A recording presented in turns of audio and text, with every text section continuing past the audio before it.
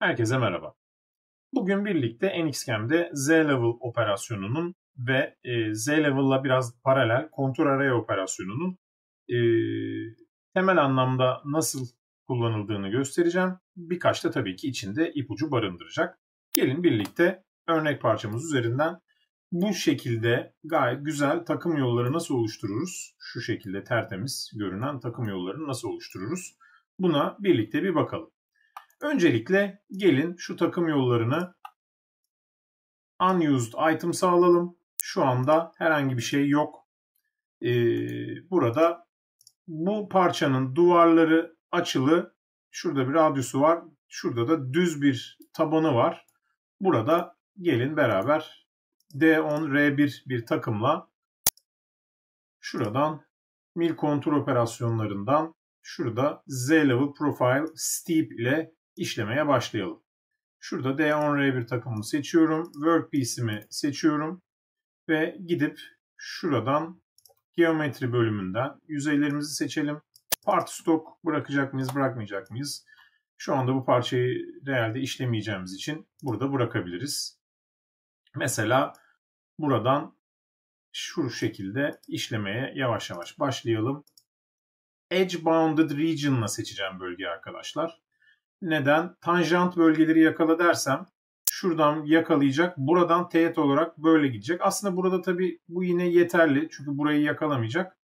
Ben tabanı da seçmek istediğim için e, ister böyle yapabilirim. ister sadece bu sarı yüzeyleri yakalamak istiyorsam birçok alternatifim var. Renkten yakalatabilirim. Ama burada Edge Bounded Region diye bir şey. Bu bölgeden herhangi bir yüzeyi şöyle seçiyorum. Sonra Bounding Edge deyip şu yüz eğriler ve şu eğrileri seçiyorum. Burada bana göster diyorum. Bakın sarı bölgeyi kendisi otomatik yakaladı. Burayı böyle yapalım. Öncelikle cut levels e, bölümünde herhangi bir şey demeyelim. Yavaş yavaş bir şeylerle karşılaştıkça buraya ilerleyelim. Seviyeden seviyeye geçerken ramp on part diyelim ve 5 derece diyelim. Bir generate diyelim bakalım nasıl bir şey çıkıyor karşımıza. Takım yolumuz hesaplanıyor. Evet. Öncelikle 5 derece sadece bu dik duvarları, dik duvarları derken de bunun da aslında bir e, yeri var. Şurada main menüye geldiğimde 60 dereceden dik duvarları işle. Eğer bu duvar çok 60'tan daha düşük bir derecede olsa işlemeyecekti mesela. Yani amacım bununla dik yerleri işlemek. Dolayısıyla burada steep only seçeneğini seçiyorum. Sadece buradaki duvarları işledi. Şimdi şuraya gelip bakacak olursak aslında ilk seviyede takımın radyusu kadar aşağıdan başladığını görüyorum. Yani şuraya geldi. Buraya ilk kademeye geldiğinde radyus kadar aşağıda. Ben bunu biraz uzatmak istiyorum.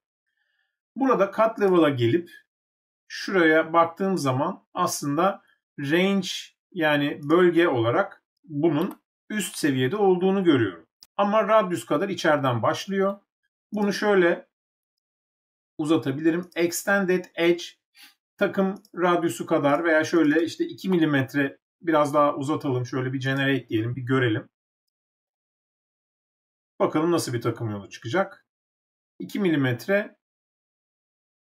uzattı. Şimdi yaptığım zaman 2 mm uzattı ama bu sefer extended edges dediğimde bu sefer bu fazla dışarı çıktı. Benim amacım uzatıp tam bunun bulunduğu seviyede olmak ise eğer cut level menüsüne geldiğimde top range'i uzadıktan sonra yukarıdaki şu seviye değil de doğrudan şu yüzeyi seçiyorum. Generate diyorum. Şimdi bakalım nasıl bir görünüm alacak takım yolumuz. Şöyle geldiğimiz zaman ve takımımızı buraya koyduğumuzda bakın bu sefer şöyle yandan bakıyorum. Gördüğünüz gibi radius kadar yani şuna kadar gömmedi. Burada tabi e, z adımımız biraz yüksek olduğu için bunu hala biraz içindeymiş gibi görüyoruz ama bu normal. Bu bir ipucu olarak şimdilik böyle bir şey kalmış olsun. Bunu görmüş olalım. Burada tabii şöyle bir şey oluyor. Bunu böyle geldiniz 5 derece indi, 5 derece indi, 5 derece indi. Duvar üzerinde şurada bir hat oluşma ihtimali var mı? Evet var. Bunun için bu hattın tek bir yerde değil de böyle parçaya dağılması için e, geçiş seçeneklerinde ne kullanılabilir? Şurada stagger ramp on part yani birbirinin ucuna ekleyerek git denilebilir. Şöyle generate diyelim.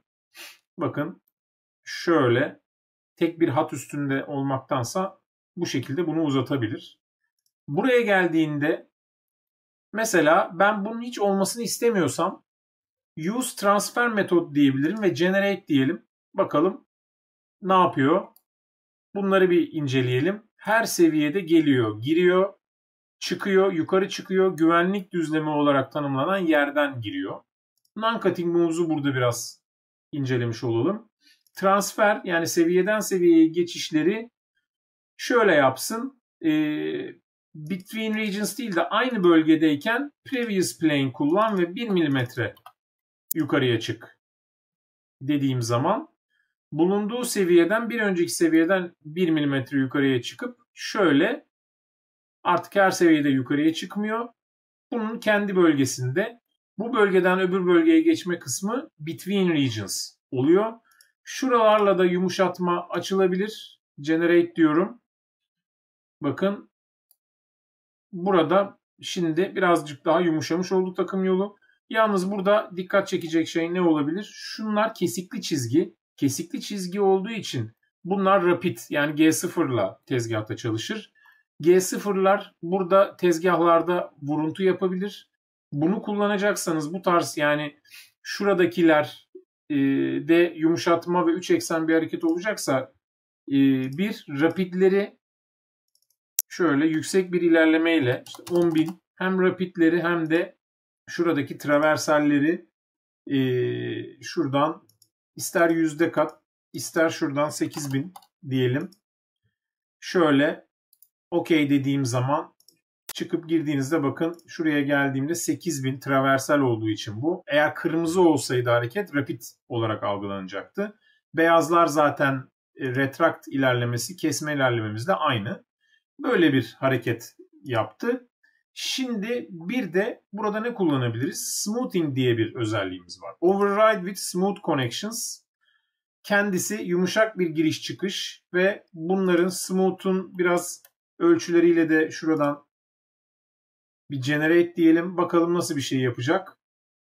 Giriş çıkışları yumuşak olarak kendin düzenle seçeneği.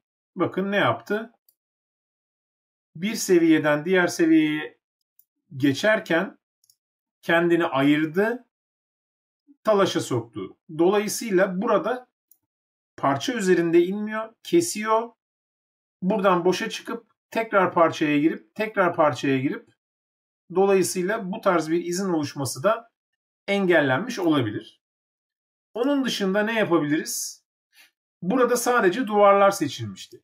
Gelin geometriye bir de tabana ekleyelim şöyle. Tabii şimdi Edge Bounded Region e, seçeneğiyle yapmaya çalışıyor. Ben Edge Bounded Region istemiyorum ve şuradaki yüzeyleri kaldırdım. E, face deyip şuradan tanjant yüzeyleri yakalamasını söylüyorum. Buradaki tabanı da algıladı. OK dedim. Ve şurada cut between levels ve Takımım da buna müsait %50'siyle çünkü tabanı düz. Burayı da işle dediğimde tabanı da işleyebilecek. Şuradan tabi şuradaki şeyi de değiştirmemiz lazım onu unutmayalım. Steep only değil yani sadece dik duvarları işleme seçeneği değil. Onu kapatıyorum. Evet bakın artık tabanı da işliyor. Burada istersen mesela şurada corner seçeneğine geldiğimde e, normal köşelerde yavaşlatma vesaire isterseniz buradan Pad Shaping Corners'tan şuradan Evet şu yerimizi bulalım. Smoothing, All Passes. Burada küçük radyuslar atabilirsiniz. İşte parçanızın şeyine göre. Şurada bakın köşeleri yuvarlattı. Tabi tam keskin köşe buralarda varsa onları da yuvarlatır. Onu da e, hatırlatmış olalım. Burada başka ne olabilir? Slow down köşelere geldiğinde yavaşlatmalar açılabilir. Buna da farklı bir e, videoda değiniriz. Şimdi bu kısımdan bahsetmeyeceğim. Burada tabii ne oldu? Z level Z level tek kademede. Burada takım yolumuzun şu özelliğine de bakacak olursak şuradan gelip endpointlerini açtığımda takım yolu line, arc, line, arc olarak düzlemsel bir takım yolu. Tabii ki bu eklenenler hariç. Burada şöyle de bir şey yapabilirsiniz. Ee, şuraya gelip toolpad renklerinde mesela motion output line arc olarak mesela yeşille mor bana burada motion output type'a göre göster derseniz takım yolunuzun line olarak ve arc olarak nasıl görüntülendiğini de burada görebilirsiniz.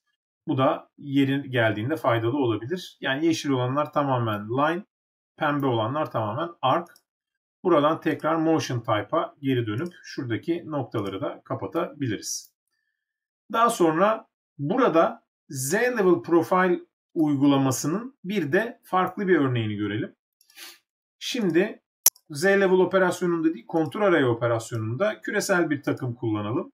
Ve gidip şuradan hem steep hem non-steep demeden önce sadece steep olarak e, gidelim. Geometri şurada specify cut array diyorum ve şuradan mesela şöyle bir bölgeyi seçtim.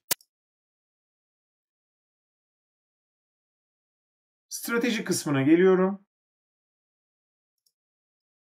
Şurada daha doğrusu operasyonumuzun main menüsüne geldim. Sadece dik yerlerde Z level helical yap diyorum. Generate diyorum. Amacım helisel inmekse burada doğrudan yani bir kademe yap çık in değil doğrudan helisel bir Z level kullanmak istiyorsanız onun yeri Z level operasyonunda değil kontur array operasyonunda. Bunu da buradan göstermiş olalım. Şimdi eğer sadece dik yerleri işle değil de hem dik hem düz veya az eğimli yerleri işlemeyi açalım ve az eğimli yerleri de spiral olarak işle diyebilirim. Spiral olduğu için de dış ve iç yani şu bölgenin dışında ve içinde çıkıntılar varsa onları da dışarıdan içeriye doğru yumuşatarak işle diyelim ve bakalım nasıl bir şey oluyor.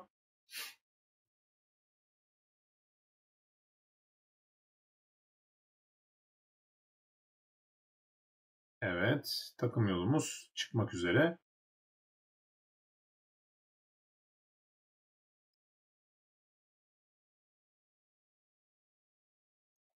Burada daha detaylı bir hesaplama var tabii ki.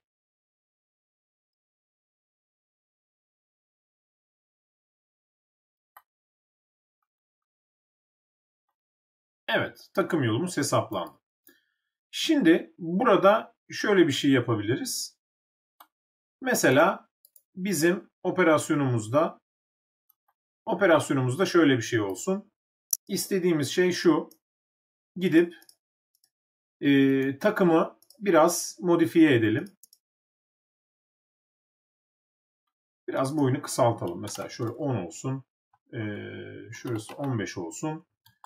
Arka tarafta da işte bir shank koyalım. Biraz şöyle şunu mesela gidip alt kısmını 20 yapalım. Burayı da 20 e, bile çok aslında. Şöyle 10 e, şöyle tabii arka tarafını şuradan kaldırıyorum.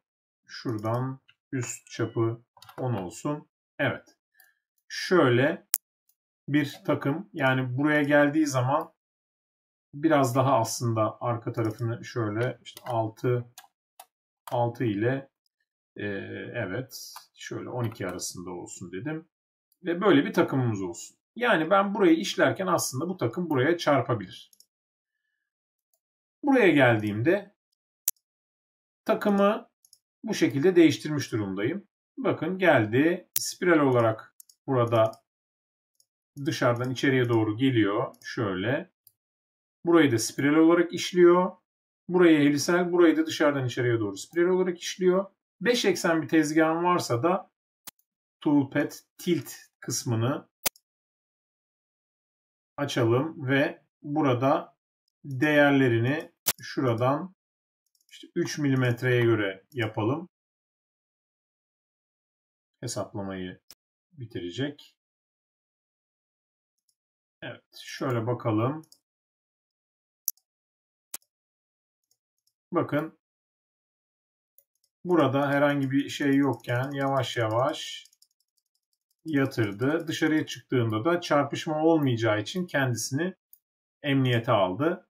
Yani dolayısıyla çok kolay bir şekilde bildiğiniz pratik 3 e, eksen komutlarınızı 5 eksenmiş gibi kullanabilmeniz için Toolpad Tilt'i de kullanabiliyorsunuz. Daha hızlı ve verimli bir şekilde işlemeyi de bu şekilde yapmış olabilirsiniz. Evet arkadaşlar, bugün size Z-Level'ın ve e, Contour Arraya'nın bir takım özelliklerinden bahsettim. Videomuzu beğenmeyi ve yorum yapmayı unutmayın. Beni izlediğiniz için teşekkür ederim.